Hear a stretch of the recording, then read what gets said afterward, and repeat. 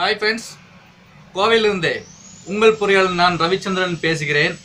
இன்றைக்கி நம்ம எந்த இடத்துல இருக்கிறோன்னா நாகா பில்டிங் மெட்டீரியல் சப்ளையர் அப்படின்ற அந்த ஒரு கடையிலையும் அந்த கடையில் வந்து இப்போது செட்டிநாடு சிமெண்ட்ஸ் வந்து பில்டிங் மெட்டீரியல் வந்து ஃப்ரீயாக மக்களுக்கு டெஸ்ட் பண்ணி கொடுத்துட்ருக்குறாங்க அதில் வந்து வாட்டர் டெஸ்ட்டு கம்ப்ரஸிவ் அதாவது காங்கிரீட் கம்ப்ரஸிவ் ஸ்டெ ஸ்ட்ரென்த்தை கண்டுபிடிக்கிறது. எம்சாண்டு வந்து தரமானதாக இருக்குது இல்லை அப்படிங்கிறது எப்படி கண்டுபிடிக்கிறது? அதுக்கப்புறம் பிரிக்ஸ் வந்து பிரிக்ஸோடைய கம்ப்ரசிவ் ஸ்ட்ரென்த் வந்து கரெக்டாக இருக்கா இல்லையா? வாட்டரில் வந்து எவ்வளோ பிபிஎம் வந்து பிஹெச் வேல்யூ இதெல்லாம் கண்டுபிடிக்கிறதுக்காக அவங்க ஒரு ஃப்ரீ சர்வீஸாக இது வந்து பப்ளிக்ஸ் பண்ணி கொடுத்துருக்குறாங்க. அந்த வகையில் இன்றைக்கி நானும் அந்த டெஸ்ட்டை வந்து எப்படி பண்ணுறாங்க அப்படி தெரிஞ்சுக்கிறதுக்காக இங்கே வந்திருக்கிறேன். வாங்க வீடியோக்குள்ளே போகலாம்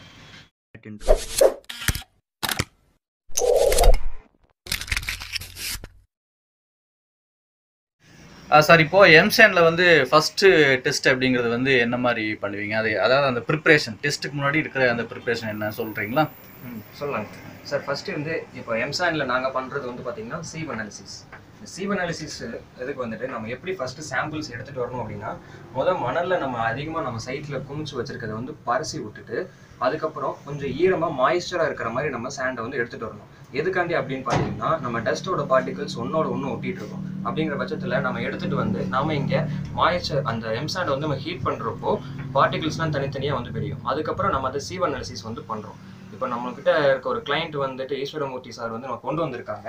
சரிங்களா? அவங்களோட இதை டெஸ்ட் பண்ணலாம். ஃபர்ஸ்ட் வந்து சார் வந்து எம்சாண்ட் கொண்டு வந்தாங்க அந்த எம்சாண்ட் எம்சாண்ட் வந்து சார் கொண்டு வந்திருக்காங்க. இந்த எம்சாண்டில் வந்துட்டு ஃபர்ஸ்ட் ஃபுல்லாமே நம்மளுக்கு மாய்ஸ்சர் இருக்கு. இப்போ இந்த மாய்ஸ்சரை வந்துட்டு நாம வந்து மாய்ஸ்டர் வந்து எடுக்கணும். அப்போதான் பார்ட்டிகிள்ஸ் தனித்தனியாக நம்மளுக்கு வந்து புரியும். இப்படி எடுக்கிறப்போனா மாய்ஸ்சர் நம்ம ரிமூவ் பண்ணுறதுக்கு என்ன பண்ணுறோன்னா ஓவனில் வந்துட்டு நம்ம ஃபுல்லாக வந்து ஹீட் பண்ணி மாய்ஸ்சர் வந்து ரிமூவ் பண்ணுவோம். ரிமூவ் பண்ணோடனே பார்ட்டிகல்ஸ்லாம் வந்து பார்த்தீங்கன்னா தனித்தனியாக இருக்கும். டஸ்ட் பார்ட்டிகிள்ஸ் தனித்தனியாக நம்மளுக்கு செப்பரேஷன் ஆயிரும். இப்போ இந்த செப்பரேஷன் ஆன வந்து ஒரு ஒன் கேஜி வந்து நம்ம வெயிட் போட்டு இந்த சி இந்த இந்த ப்ராசஸ் வந்து எதுக்காகனா அந்த சீவுக்குள்ளே போடுறப்போ அந்த சீவு வந்து கரெக்டாக சீவோட சீவில் வந்து அந்த சைஸ்ல வந்து கரெக்டாக வரக்காக மட்டும்தான் இந்த ப்ராசஸ் அதாவது ஈரமாக இல்லைன்னா தேவையில்லை. ஆமாங்க. ஓகே இப்போ இந்த நம்ம ட்ரை பண்ண இந்த எம்சாண்ட் வந்து நம்ம என்ன பண்றோம்னா சீவ்ல வந்து நம்ம போடுறோம். இந்த சீவ் பார்ட்டிக்கு இந்த சீவ் வந்து four point seven five to pan வரைக்கும் நம்மளுக்கு இதை செட் பண்ணியிருப்போம். Four point seven five two point seven five one point one eight six hundred micron three hundred one fifty seventy five pan அப்படின்னு சொல்லி நம்ம இந்த பேன்ஸை வந்து நம்ம செட் பண்ணிடுறோம். செட் பண்ணிட்டு இதை நம்ம டூ மினிட்ஸ் வந்துட்டு இந்த மிஷின்ஸ்ல நமக்கு செட் பண்ணிடுவோம். இந்த டூ மினிட்ஸ் வந்துட்டு நம்ம வைப்ரேட் டூ மினிட்ஸ் வந்து வைப்ரேட் பண்ண போகிறோம் ஃபர்ஸ்ட் இந்த மிஷின்ஸில் வந்து நம்ம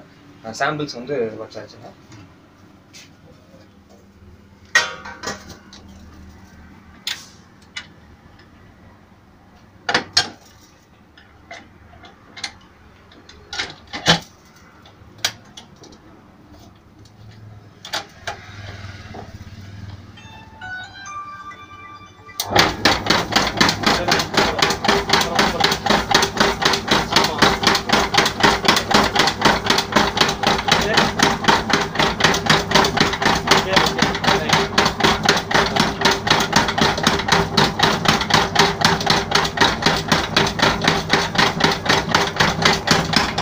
வைப்ரேட் பண்ணி முடிச்சாச்சுங்க.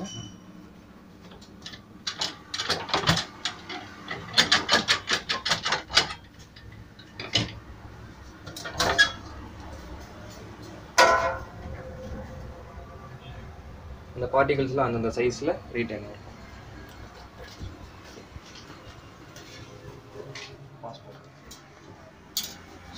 ஃபோர் பாயிண்ட் செவன் ஃபைவ்ல ஒன்றும் இல்லை. ஜீரோ தான். நீங்களே சொல்லிடுங்க. டெக்னிக்கலி நீங்களே ஆ ஓகே இது வந்து டூ பாயிண்ட் த்ரீ சிக்ஸ் சைஸஸில் இந்தோட ஜல்லியில் வந்துட்டு ரீட்டைன் ஆயிருக்குங்க. பாஸ் ஆகாமல் இது ரீட்டைன் ஆயிருக்கு. இப்போ எவ்வளோ ரீட்டைன் கிராமுங்கிறத நம்ம ஃபைண்ட் அவுட் பண்ணலாம்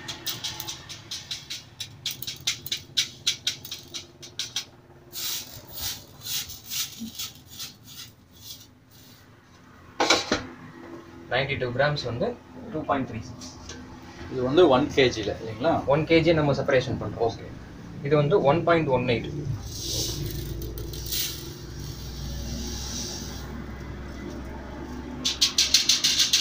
இது வந்து நம்ம வேல்யூ எடுக்கிறப்ப தனித்தனியாக ஜீரோ பண்ணி எடுக்கலாம். இதை நம்ம குமுலேட்டிவ் எடுத்துக்கிறோம். அது நம்மளுக்கு ஈஸியாக இருக்கும். குமுலேட்டிவ் எடுக்கிறப்போ ஃபோர் டுவெண்ட்டி ஃபோர் கிராம் வரும்.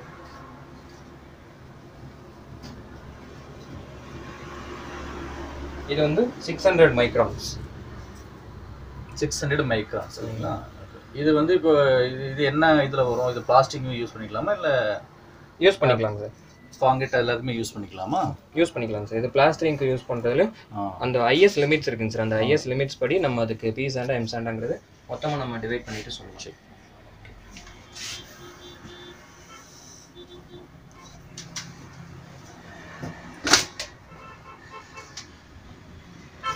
இது வந்து த்ரீ ஹண்ட்ரட் மைக்ரான்ஸ் ஓகே இது வந்து த்ரீ ஹண்ட்ரட் மைக்ரான்ஸ்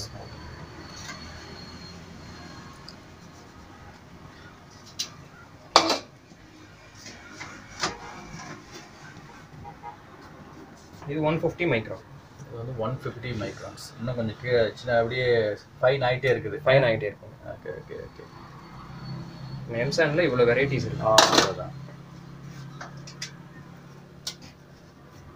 இது செவன்ட்டி ஃபைவ் மைக்ரான் இது வந்து யூஸ் பண்ணலாமா? செவன்ட்டி ஃபைவ் மைக்ரான்ஸோட இது வந்துட்டு ஜீரோ பர்சன்டேஜ் தான் வந்து நம்மளுக்கு அலோபிள் ஆனால் கொஞ்சம் சம் பர்சன்டேஜ் இருக்க தான் அது செய்யும். ஓகே நம்ம என்னதான் நம்ம ரெடி பண்ணாலும் அது கொஞ்சமாக தான் இருக்கும்.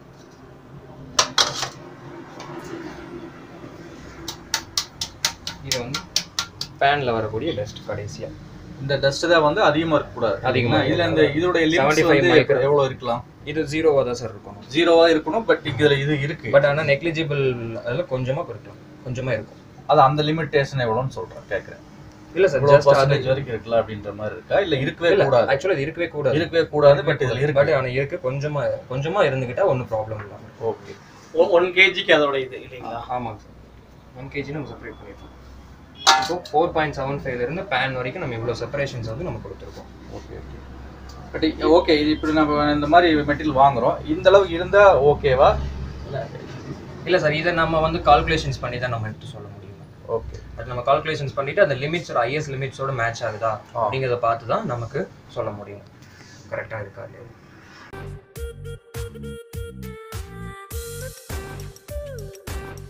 நம்ம இதை டெஸ்டிங்ஸ் எல்லாமே இப்போ நம்ம முடிச்சிட்டோம் சார் சரிங்களா? அது நம்ம கிடைக்கக்கூடிய வெயிட் வந்து பார்த்தீங்கன்னா இது குமுலேட்டிவ் ரீட்டைன்ட் வெயிட்னு சொல்லி நமக்கு நோட் பண்ணியிருக்கோம் பார்த்தீங்களா அதுலேருந்து எடுத்துக்கணும். அஸ் பர் ஐஎஸ் ப்ரொசீஜர் படி ஃபஸ்ட்டு நம்ம டென் எம்எம்மே கன்சிடர் பண்ணிக்கணும். ஆனால் நமக்கு எம்சாண்டோ பிசாண்ட்லையோ டென் எம்எம் வந்து கண்டிப்பாக இருக்காது. அதனால தான் அந்த சீவை நம்ம அதில் வைக்கல. சரிங்களா? ஃபோர் பாயிண்ட் செவன் ஃபைவ்ல நம்ம எடுத்துருக்கோம். இப்போ ten mm four point seven five எம்எம்ல நமக்கு ஜீரோவாக தான் இருந்துச்சு. அதுக்கப்புறம் எல்லா சைஸஸ்லையும் என்னென்ன சைஸஸ் இருக்குன்னு குமுலேட்டிவ் சைஸஸை நம்ம எடுத்து இங்க நம்ம எழுதியிருக்கோம். ஆமாம் இங்கே நம்ம எழுதியிருக்கோம். இதில் நம்ம கால்குலேஷன்ஸ் வந்து நம்ம போட்டிருக்கோம். எவ்வளோ அதாவது நம்ம கால்குலேஷன்ஸ் என்ன போட்டிருக்கோம்னா எவ்வளோ பாஸ் ஆயிருக்கு அப்படின்னு. ஒவ்வொரு சைஸஸ்லையும் எவ்வளோ பாஸ் ஆயிருக்கு அப்படிங்கிறத நம்ம இங்கே கால்குலேட் பண்ணியிருக்கோம். இங்கே நம்ம ரெண்டு ஸ்பெசிஃபிகேஷன்ஸ் வந்து ரெண்டு இருக்குங்க சார் லிமிட்டட் ஒன்று வந்து பார்த்தீங்கன்னா ஜோன் டூ இன்னொன்று வந்து பார்த்தீங்கன்னா ஜோன் த்ரீ ஜோன் டூ என்ன ரெப்ரசென்ட் பண்ணும் அப்படின்னா ஜோன் டூ என்ன ரெப்ரசென்ட் பண்ணும் பார்த்தீங்கன்னா எம் சாண்ட் பார்த்தீங்களா? அதை வந்து ஜோன் டூ ரெப்ரசென்ட் பண்ணும். ஜோன் த்ரீ என்ன ரெப்ரசென்ட் பண்ணால் பி சாண்ட் பார்த்தீங்களா? அதோட லிமிட்ஸ்லாம் வந்துட்டு நமக்கு ரெப்ரசென்ட் பண்ணும். அஸ் பர் ஐஎஸ் ப்ரொசீஜர் படி IS three eight three two thousand sixteen revisions படி நாம இந்த ஒரு லிமிட்டை வந்து நமக்கு வச்சிருக்கோம். இதில் பார்த்தீங்கன்னா எல்லாமே நம்மளுக்கு வந்து பார்த்தீங்கன்னா பாஸ் ஆகுது லிமிட்ஸ் படி. சரிங்களா? எந்த லிமிட்ஸ் படி பாஸ் ஆகுதுங்கிறது நம்ம பார்த்தோம் அப்படின்னா ஜோன் டூவில் பாஸ் ஆகுது. அப்போ நீங்கள் கொண்டு வந்திருக்கிற சாண்ட் வந்து எம் சாண்ட் அப்படின்னு. இதில் ஒரே ஒரு லிமிட் மட்டும் six hundred மைக்ரானுங்கிறது thirty five to fifty nine இருக்க வேண்டிய இடத்துல தேர்ட்டி த்ரீ பாயிண்ட் எயிட் தான் வந்து நம்மளுக்கு இருக்குது இது வந்து பார்த்தீங்கன்னா நம்மளுக்கு நெக்லிஜிபிள் தான். சரிங்களா? அப்புறம் செவன்டி ஃபைவ் ஒன் ஃபிஃப்டியில் வந்துட்டு நமக்கு ஜீரோ டு டென் அப்படிங்கிறது மென்ஷன் இருக்கும் ஆக்சுவல் நம்மளோட சர்டிஃபிகேட் படி ஜீரோ டு டென் தான் மென்ஷன் பண்ணணும். ஆனால் ஐஎஸ் ப்ரொசீஜர் படி புது ரிவிஷன் என்னன்னா டுவெண்ட்டி பர்சன்டேஜ் வரைக்கும் நம்மளுக்கு இதை எக்ஸ்டெண்ட் பண்ணியிருக்காங்க சரிங்களா? அப்போது அப்புறம் செவன்ட்டி ஃபைவ் மைக்ரான்ஸில் வந்து பார்த்தீங்கன்னா நம்மளுக்கு ஜீரோ தான் இருக்கணும். ஆனால் டூ பர்சன்டேஜ் வந்து நம்மளுக்கு இருக்கு. டூ பர்சன்டேஜுங்கிறது வெரி நெக்லிஜிபிள் தான். அது கண்டிப்பாக வந்து பார்த்தீங்கன்னா நம்ம சாம்பிள்ஸில் கண்டிப்பாக இருக்க தான் செய்யும். ஓவராலாக நம்மளுக்கு பார்க்குறப்போ உங்களோட எஃப்சாண்ட் வந்து நல்லா இருக்கு. பாஸ் ஆயிடுச்சு. டூ பர்சன்டேஜ் ஃபைவ் மேலே இருக்கக்கூடாது. இருக்கு ஃபைவ் ஃபைவ் மேலே ஓகே அது கூட அட்ஜஸ்ட் பண்ணி அதுக்கு பண்ணிக்கலாம். அதிகமான உங்களுக்கே தெரியும் டெஸ்ட் பண்றப்போ உங்களுக்கு காமிச்சோம் அதிகமான டஸ்ட் வந்துட்டு செவன்டி ஃபைவ் மைக்ரான்ஸ் இருக்கிறப்போ உங்களுக்கே தெரியும் நிறைய டஸ்ட் இருக்கு அப்படின்னு சொல்லிட்டு. அதனால என்ன ப்ராப்ளம்ஸ் வந்து பார்த்தீங்கன்னா பிரிக் ஒர்க்லயோ இல்ல காங்கிரீட்லயோ போடுறப்போ மேஜர் ப்ராப்ளம்ஸ்லாம் வந்துட்டு அது பிளாஸ்டிக் வந்து பார்த்தா கரெக்டாக ஒட்டாம செய்யாம உதிரி உதிரி அந்த மாதிரி. அது அதிகமாக இருக்கும்போது ரொம்ப ப்ராப்ளம் ஆமா அதிகமா இருக்கும்போது நமக்கு ஓகே உங்களோட நல்லா இருக்கு. நீங்க கன்ஸ்ட்ரக்ஷனுக்கு தாராளமா யூஸ் பண்ணுங்க இப்போ நம்ம சைட்லேருந்து எடுத்துகிட்டு வந்த சாம்பிள்ஸை வந்து அவங்க டெஸ்ட் பண்ணி கொடுத்தாங்க. அது வந்து கன்ஸ்ட்ரக்ஷனுக்கு நல்ல எம்சாண்ட் அப்படின்ற மாதிரி அவங்க பாஸ் பண்ணியிருக்காங்க. ஏன்னா அந்த ஐஎஸ் பேராமீட்டர்ஸில் வந்து அவங்க கம்பேர் பண்ணி இப்போ நம்மளுடைய இந்த எம்சாண்ட் வந்து நல்ல எம்சாண்ட் அப்படின்ற மாதிரி கொடுத்துருக்குறாங்க. இனி ஒரு டவுட் வரலாம் எல்லாத்துக்கும். அப்போ நம்மளோட நம்ம சைட்டுக்கு இருக்கிற ஒவ்வொரு லோடையும் நம்ம வந்து டெஸ்ட் பண்ணணுமா? அப்படின்ற மாதிரி சந்தேகங்கள் வரலாம். அந்த மாதிரி பண்ண வேண்டிய அவசியம் இல்லை ஏன்னா நம்மளுடைய அந்த எம்சாண்ட் வந்து பர்ச்சேஸ் பண்ணுற அந்த குவாரி அந்த மைன்ஸ் ஆகட்டும் அது வந்து கவர்மெண்ட் ரூல்ஸ் அண்ட் ரெகுலேஷன்ஸ் படி அந்த குவாலிட்டியை வந்து அவங்க பக்காவாக ரெடி பண்ணி கொடுக்குற மாதிரி இருந்துச்சுன்னா அந்த மாதிரி இடத்துல குவாரிஸில் நம்ம வந்து வாங்கும்போது இந்த எம்சாண்ட் வந்து நம்ம ஒவ்வொரு லோடுக்கும் நம்ம செக் பண்ண வேண்டிய அவசியம் வராது. ஏன்னா இந்த இந்த எம்சாண்டோட நம்ம டெஸ்டிங் நிறுத்த போகிறதில்ல இனி காங்கிரீட்டில் இந்த எம்சாண்ட் வச்சு பண்ணுறப்போ அதனுடைய கம்ப்ரசிவ் ஸ்ட்ரென்த்து இதெல்லாம் அடுத்தடுத்த செக் நம்ம பண்ணும்போது உண்மையாகவே ஒரு குவாலிட்டியான கன்ஸ்ட்ரக்ஷனுக்கு குவாலிட்டியான மெட்டீரியலை வந்து நம்மளால் பர்ச்சேஸ் பண்ணி செஞ்சுக்க முடியும். இந்த வீடியோ உங்களுக்கு ஒரு உபயோகமான தகவல் கொடுத்துருக்குறேன்.